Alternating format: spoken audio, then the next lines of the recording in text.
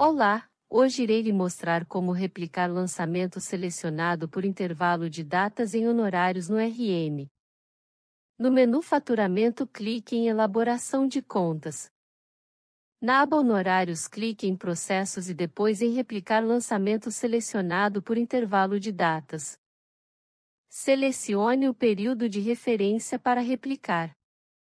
Para o procedimento ser executado com sucesso, o usuário que executa deve ter perfil de faturamento. O status não pode estar fechado. A data de início indicada no período de referência deve ser menor ou igual à final.